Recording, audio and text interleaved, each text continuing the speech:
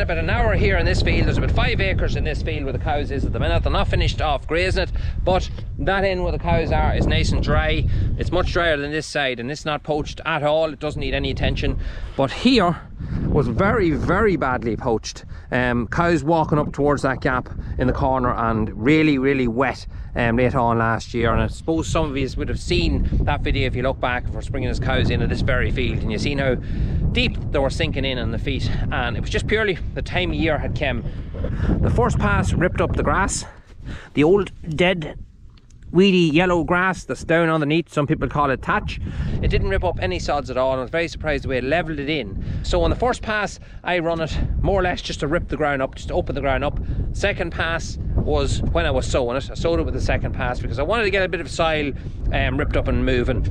Then when I came across at least I had something to cover the seed over. That worked a treat I went over and done the parts over here the whole way over this field. Much drier over there but the amount of old yellow dead grass it ripped out was simply incredible. So it's bound to make a great job of this field. What I'm going to do now is I'm leaving it till the cows are done. They've one more grazing here and then I'm going to come in and I'm going to roll it first and then I'm going to slurry it and then I'm going to put fertilizer on it.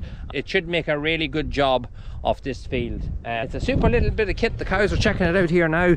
Covered now in cow dung. That's the only fault. We'll have to probably run the hose on it because there's nothing like cow dung to take nice fresh paint off. So I'm just on load number three. That tank is getting thicker than I'd like, um, but it's a tank that was very full and I need to take a few tanks out of it so I can put water into it to mix it. So it's not ideal, definitely not probably ideal, but I'm going very fast across the field. I'm trying not to put it on too heavy, um, but it seems to be every load I take out of it, the thicker it gets. The first load was great, second load wasn't too bad, third load a little thicker than I'd like, but it'll still be grand, not be an issue. Um, hydraulic changeover, a lot of people just ask about that hydraulic changeover. I can use my spool valve to change from fill, neutral to spread. It's great, brilliant. You just have to be careful when you go to the yard and you move your spool valve. Because let's just say, my mate Dave told me, we all have a mate called Dave, he told me that he went into the yard a few times, pump running, he moved the wrong lever and he sprayed the entire yard with slurry. Did you imagine that happening? Apparently Dave has done that a few times.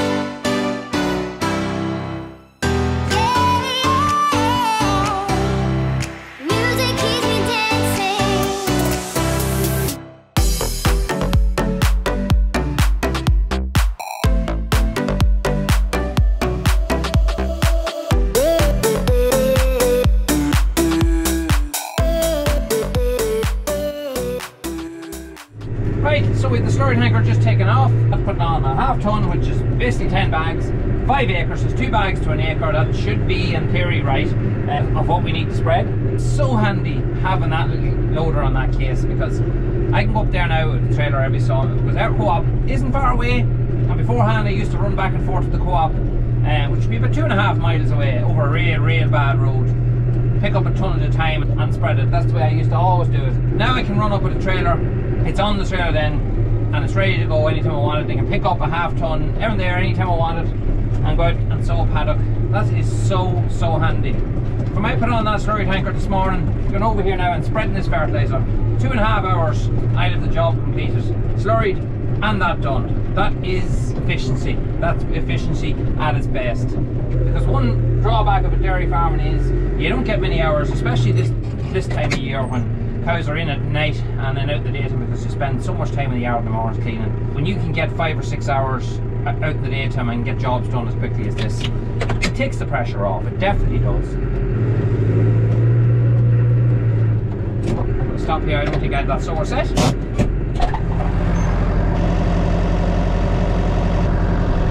No, no, just checking the admission. Saw properly set and a half. The gear is right, we go.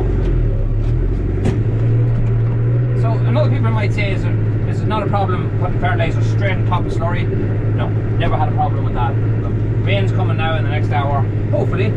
I'll wash it all in fairly quick. So and it's not giving any rain then for a couple of days after that. So it's time now to get any fertilizer you want to get out.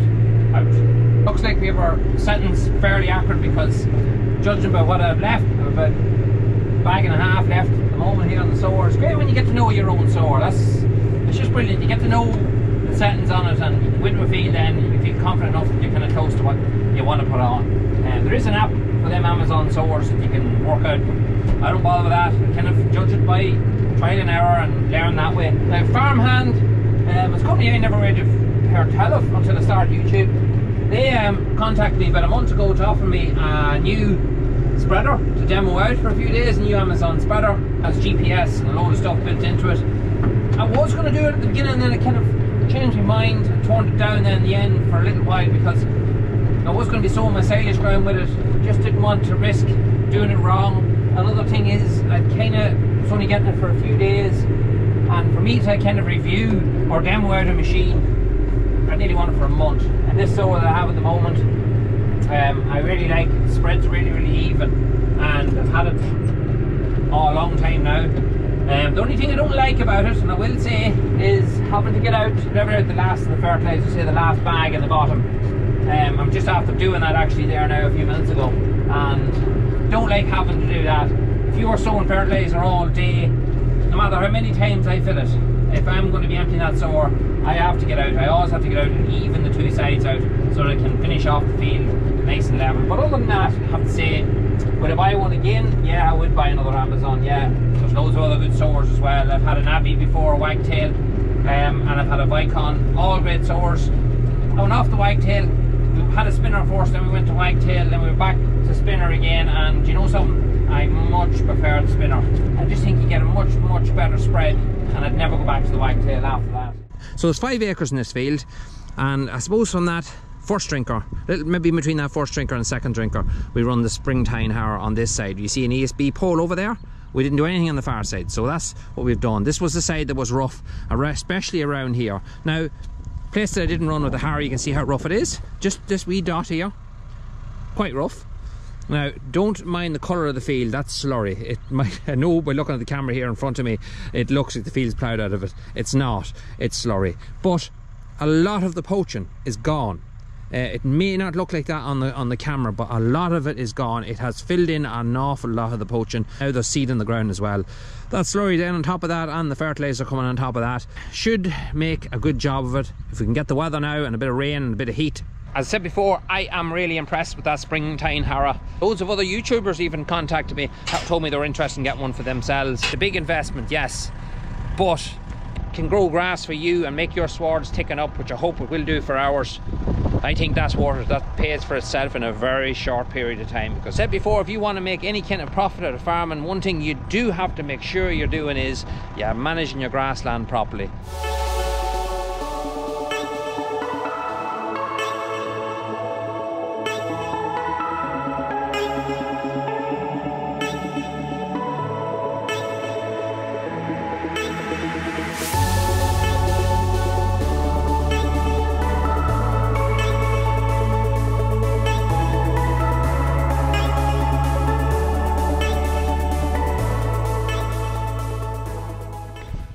Right, next little job we're going to tackle something that has to be fixed and has to be addressed because a simple problem could turn into quite a big one, quite a dangerous one in no matter of time. So before you ask, my trailer, I'm just after tipping it up here now.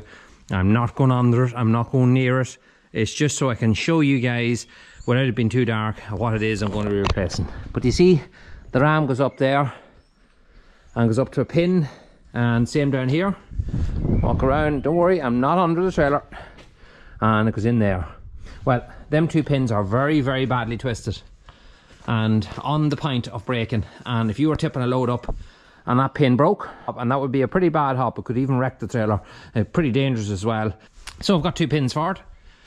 You might think it's an easy job to do, but because the twist is on it, it's not going to be easy. But I know from experience, this is going to be probably a pain in the ass. Something I have to do. So let's get it done. Next thing I'm going to do is I'm going to drop this trailer back down. I'm going to put a couple of wedges here to keep the trailer slightly up in the air so I can get in underneath we more comfortably. Um, so I'm going to put something, a couple of planks across here to keep the trailer up in the air, and then we get working on it.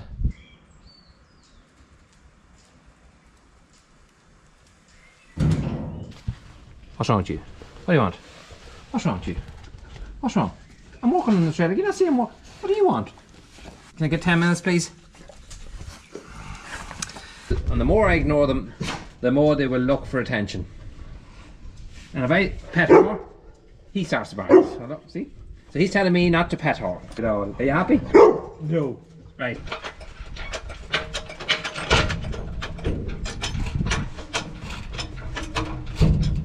Okay, that moved it.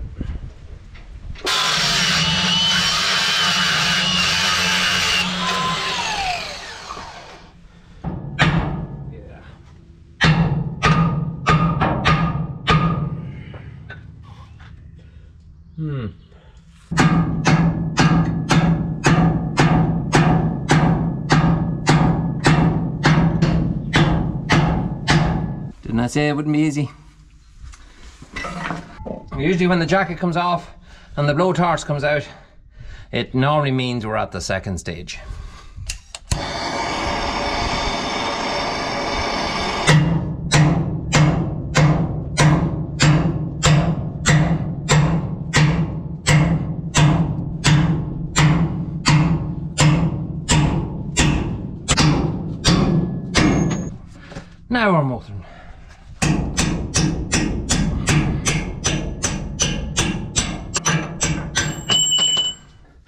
Right, so after 30 minutes of battering, we have the pin out. But what I need to do now is I need to put this down to the right size. I need to weld a washer here on this end and fit it through and fit a bolt on this side. It's too long at the minute. The shorter it is, the better. And that's what we're going to do now.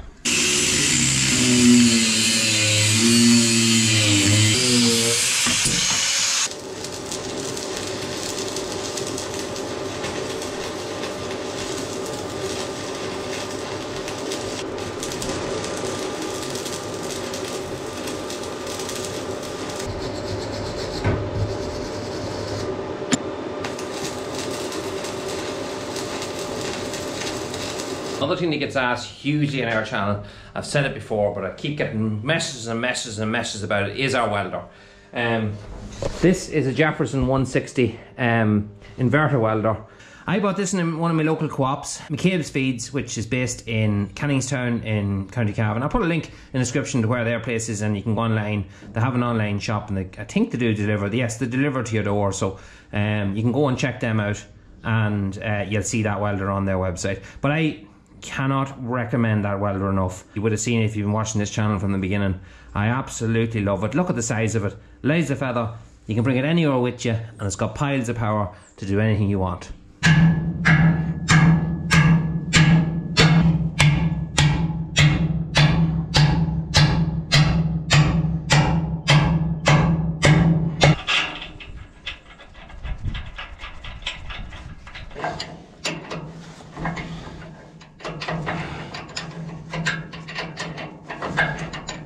Alright, so this pin is really fighting me.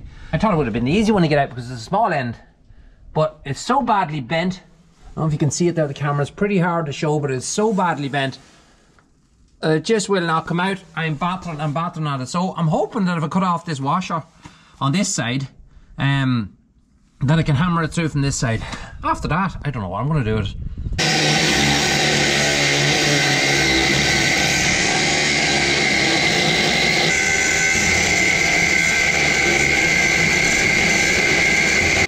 See, I can't get in with the iron grinder to cut this all flush. So I'm doing at the minute is I'm trying to cut it at several sections, hit it with a chisel, and hopefully break them off that way. Not to cut into the steel behind when I'm doing it. One disadvantage to using battery tools. They are very, very handy. But the batteries wear it really fast. There's a chunk gone. Alright, so you know we're getting desperate when the drill comes out. Battering at it, I've actually put a ratchet strap on it too to pull the ram together. Nothing would help. And that pin's actually loose. You can move it with your hand, but there's a lip inside there because it's bent so badly and probably worn so much into the pin that it will not pass. So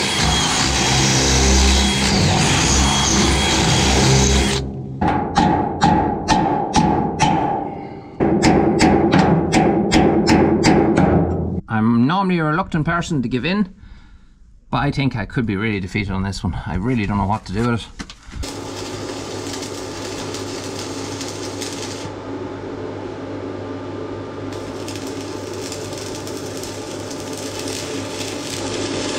So I haven't got much room here, but a couple of you are going to ask how I got that out after all the struggling I did. Well, let's be clear. It was a struggle. There was a lot of unpleasant words said between the process of getting that pin out and starting the job in the first place. I was actually regretting that I started it all, but I knew it had to be done. It was something that was incredibly unsafe and hadn't been done in quite a while. It's normal for them pins to wear, something you kind of have to keep an eye on. I knew they were kind of starting to bend this last while and bend pretty quickly. I'll give you an idea what the pin looked like. Just got the bend this on that. You see these gouges here? Over here to the light, you better. You see them gouges? Well, that there is where between the the ram and the pin itself. You can see the wire that was there, so it wasn't long before that was going to break. The same on this side. That's not cut, that's pure wire. So they're in bad shape. There was time to get them changed. There's the bottom one. It wasn't just as bad, but you can see again, you can see the wear that's there. And the same on the far side, and you see the hoop that's on it too. So how did I get it out? Well, I rang a friend of mine who does my mechanic work, and I said to him, hey, I'm having torture with this job. Any ideas how I can get this pin out? Um, probably if I had had it, use the bottles, get her heated up, fire out that way. Yeah, probably would have worked. But I had that ratchet strap on that ram and I had to pull it pulled together as much as I could pull it together. The pin was moving, so there was no pressure on the ram. Well, so I thought there wasn't. Um, so my own man said he'd call around after work this evening. He was already busy. I didn't want to have to take him away from his work, but he said he'd call around. He's a great lad. He always helps me when I want any help at all. It's great to have friends like that. But he said he'd call around. But just in the meantime, I said I'd have one more go at it. And what I did was I removed the pin here. I took dropped the ram onto the ground. It left that had more access to the pin. My idea was I was going to run an iron grinder in here and cut this pin off in the inside, um, which probably would have helped. But what I did do was I welded on a piece of steel onto that. I run it out through that gap that was just on the outside of the, the trailer that I could get one hell of a whack at it with the sledgehammer and that one big massive whack and it just popped out. Lesson to be learned, if something's not working out, just use a bigger hammer.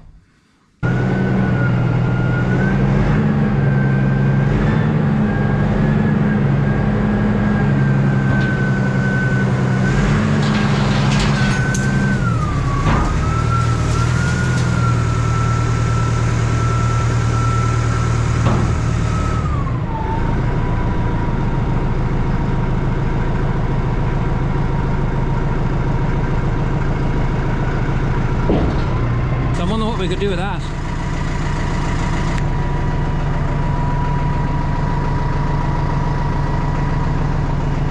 That's better. So one final thing I'm going to do with this is I'm going to grease up the bearings.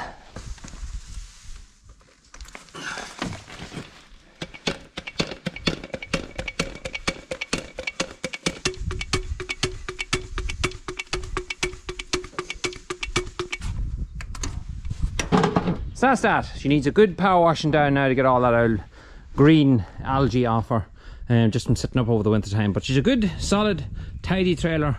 And as I said before, that trailer has done a lot of work, has moved a lot of heavy, heavy material, and it has never ever let me down. That's the first time I've ever took the welder to it just to fix that little crack there.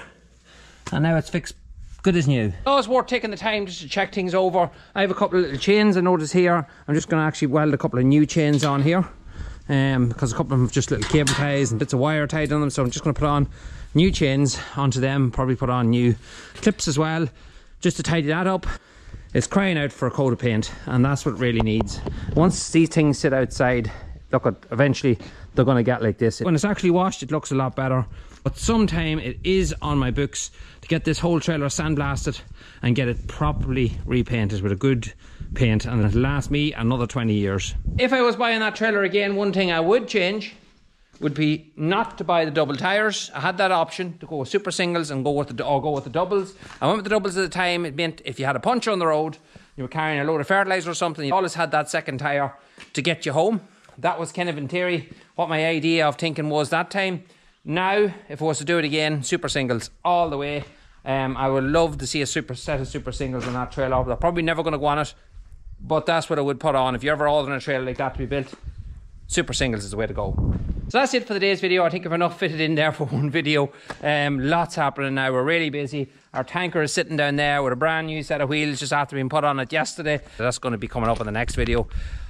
Awesome. They look just look the part that they do. Um, Gary again came from McManus Tires. We'll go through all that in the next video, but it's exciting stuff. Lots is happening. This clay hopefully will be moving. That's why I'm working on this trailer because Jerry on the digger will be back and he will be going through getting rid of all that clay up there, getting this whole garden into shape around my parents' house, getting that field all reseeded and riz up. Plenty of work to be done. And we hopefully get back to our series on the wee Fergie. We have done quite a bit of work on it. I'm not going to show you just yet. You've seen enough. But we have done a lot of work on it since the last time you've seen it. So them series will be going up. It's just a matter of me sitting down and getting the time to edit these things because I'm working quite late hours at the minute. But things will calm down because I'm hoping that we're going to get rain and the grass will start growing so I can get these cows out at night because they're in far too long now at night into May. This is a bank holiday weekend coming now. So it's time for cows to be out full time. My petrol yard script I mentioned in the last video, a lot of people ask me what's wrong with it. Well, I'm just literally after getting off the phone from Clark's in Cavan. I left it over there. It's been over there three times before in its lifetime with the same problem of letting water into the engine. Cost a lot of money to repair. It's probably better off putting a brand new engine in it. The unfortunate thing about a brand new engine, they can't get one until August. Now, I am kind of getting to the end of using it, but I still would love to have it. There still are cows in there that has calf, and I'd love to have it because push back that bit of silage and get things done a wee bit easier. So I have a decision to make. Do I wait it out and put a brand new engine in it, or do I buy a brand new one?